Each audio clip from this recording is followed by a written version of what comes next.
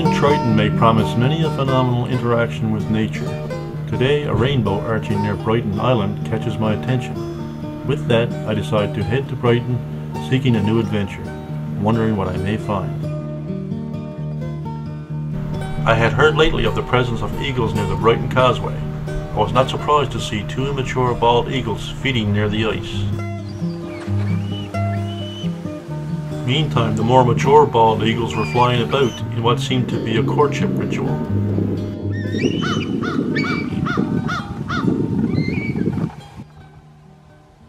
The young eagle will leave the nest at about 12 weeks old. Their head and tail feathers will not turn completely white until they are about 4 years old. If they make it that long, their survival rate is only at about 50% in the first year of life.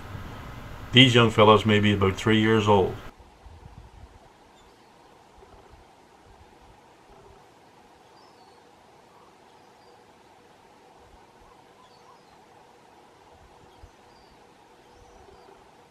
By this time they are quite the experts at fishing for their food. Using their talons or feet, they will dive close to the water surface and catch a fish. For today, codfish is on the menu.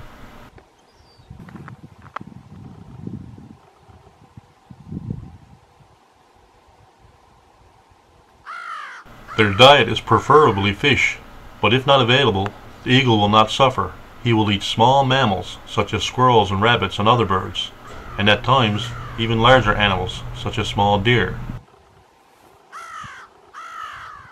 They have no problem scavenging on a seal or moose carcass either. Whatever is available, they will eat. By now his dinner is pretty much petrified, but he does not seem to mind picking away at this frozen delight. An eagle will eat anywhere from one half pound to about one and a half pounds of food each day, hence the average size of a fish it may obtain. Notwithstanding its appetite, it will certainly try to land a larger fish if he is able to carry it.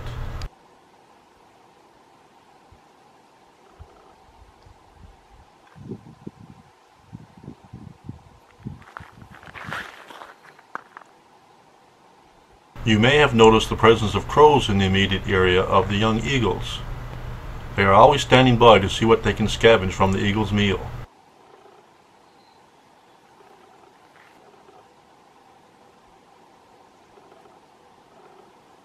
Taking possession of the cod, he seems to be making clear that he is not yet finished with his food and that the blackbirds had better back off.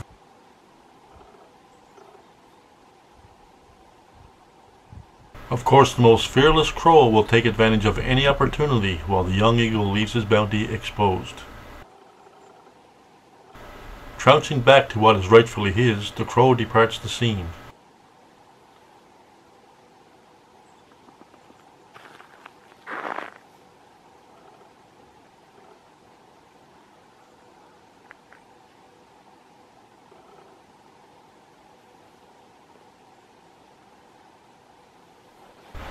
That bird is still around. I wonder, should I take my meal and go? The fish should not be too heavy. After all, he carried it there. He also has to factor in the added weight of ice in the now frozen codfish.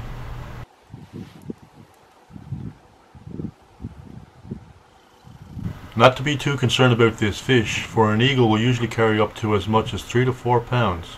If he has the desire and the appetite, an eagle may engage a fish equally to his own weight. It has been noted that some eagles have actually drowned trying to retrieve a fish too large to carry. In this state, it will take a while to consume his dinner. Meanwhile, the crows will settle for crumbs.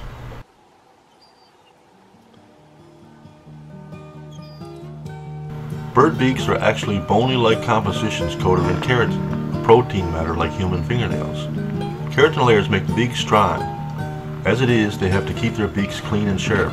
In doing so, they will scrape the beak side to side against a rock to sharpen, and nuzzle a tree branch to keep it clean. The talons and feet are set upon powerful leg muscles, and like the beak, are very sharp. Keeping them manicured is achieved with normal use, as they spend much of their time using them to catch their prey, and while landing and taking off, they also keep them trimmed.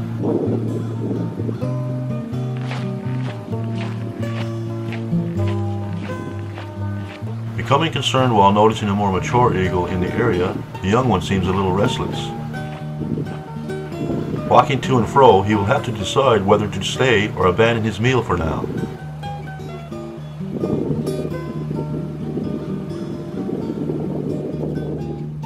Bald eagles are not actually bald. The term bald is derived from the word piebald, depicting something that is spotty and patchy.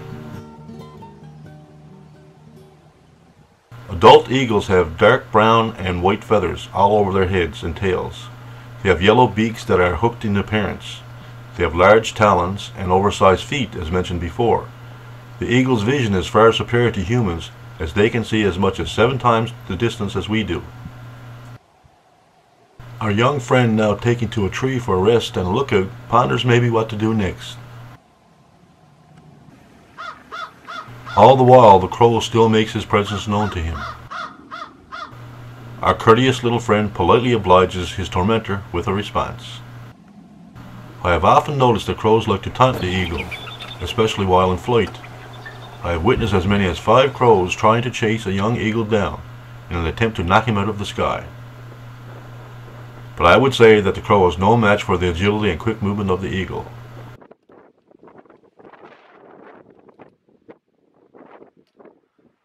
The bald eagle has more than 6,000 feathers to provide protection against the cold and heat and keep them dry from water and rain. This abundance of feather and down protection enables them to survive in cold winter temperatures as this. Feathers are of course needed for flying and for gliding and soaring. This is easily achieved as they are hollow and light, but they are structurally very strong.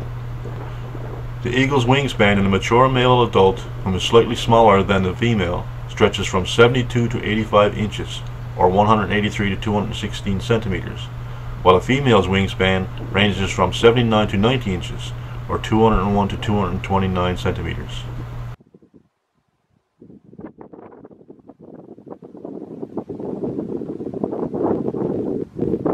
It has been said that should a bald eagle lose a feather on one wing, it will shed another on the other in order to maintain peak balance.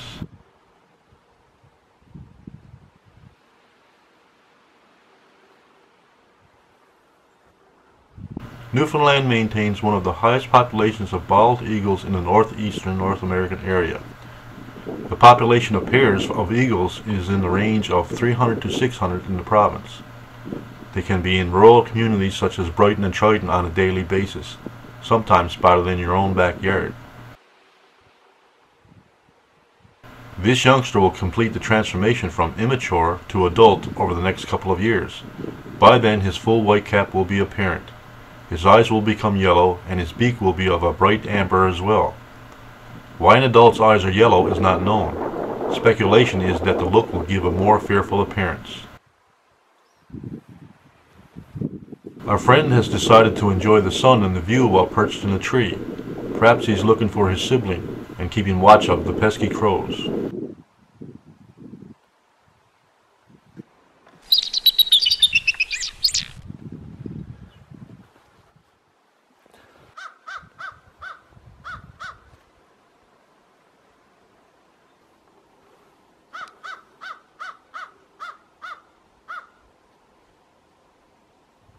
Observing that the food has been left unattended at this time, the eagle will have to decide as to whether he is hungry enough to take possession of it or leave it for the gulls and crows.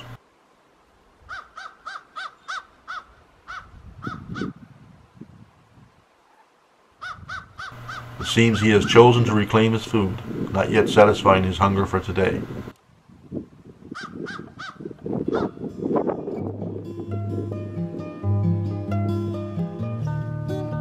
It is quite usual for the bald eagle to make their homes in tree-lined areas near the ocean and large lakes.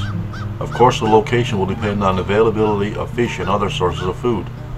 Also, the many high cliff shorelines of Newfoundland make for ideal nesting places that are high and isolated enough to be largely inaccessible by humans, although some nests are located near communities.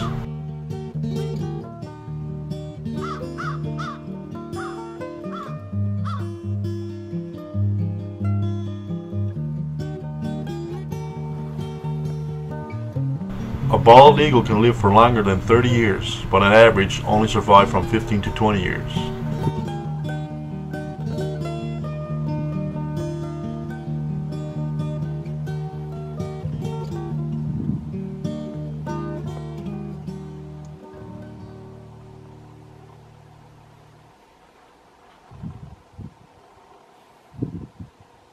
You would think upon observation that the eagle is experiencing cold feet, but in reality their feet are made mostly of tendons and are quite resistant to the cold. Perhaps his talons need some care, maybe a little manicure. In any case, for now, I think our little friend has to make a decision as to whether he wishes to remain on this cold ice or seek the warm comfort of a tree.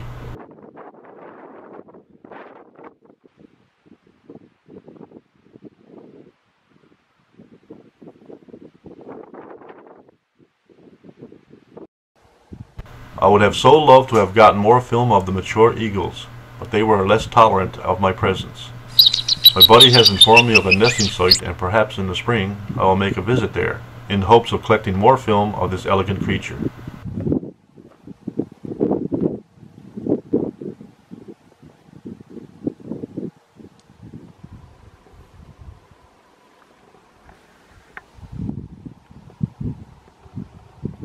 For now, I will bid you goodbye and allow you to enjoy these last few moments with the young bald eagle.